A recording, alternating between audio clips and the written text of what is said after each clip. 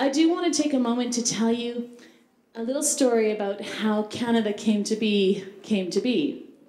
Uh, Rhonda Draper, who is the just extraordinary music teacher at Glenmore Elementary School, conceived of the idea of teaching children Canadian history through Canadian folk song. It's a wonderful marriage of the arts being used to teach other subjects. And over the course of three years, from 2003 to 2007, she created the show, How Canada Came to Be, and recorded a CD.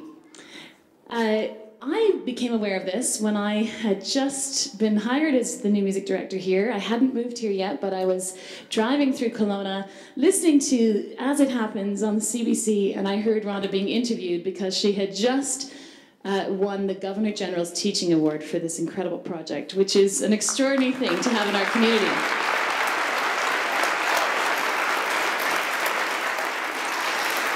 So as I as I listened to her being interviewed and talking with such incredible passion about this project, I um, I pulled over and I pulled out my phone and I called our general manager and I said, "It's our 50th anniversary in three seasons, and we have to get this orchestrated and perform it for our 50th anniversary school concerts." And then I kept driving and drove past Glenmore Elementary School, which I didn't know where anything was in those days, and the sign said kindergarten registration today. And so I pulled in and registered my son, who now goes to Glenmore Elementary. So I, um, I met with Rhonda, and she was just as thrilled about the idea of this collaboration as I. Uh, we hired Claude LaPalme, who's a wonderful Canadian orchestrator, to, to bring the folk songs that Rhonda had chosen for this project to orchestral life. And that is how this show has come together.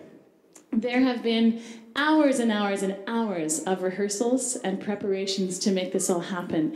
And I would like to say some thank yous to the staff at Glenmore Elementary, people like Kelly Andrews, who's been monitoring the costumes and answering thousands of questions, and many of the other staff, the principal John McMahon at, at Glenmore Elementary, they've just been incredibly supportive about getting the kids where they need to be. We've had tremendous volunteers, people like Clara Hare, who has really gotten the kids to think professionally on the stage, people like Celeste Davidson, who's just been postering the city for us and really helping to get the word out about this show. And it's just an extraordinary amount of hours that have gone into this. Uh, the Okanagan Symphony staff, Caroline Miller and Wendy uh, McCracken, and, and also the technical crew, Tim Watson, who made the announcement about the tuning, Ernie Weber up in the sound booth, and the rest of the crew that have schlepped risers and music stands and really made it all happen. So I would like to take the opportunity to thank all of these incredible volunteers.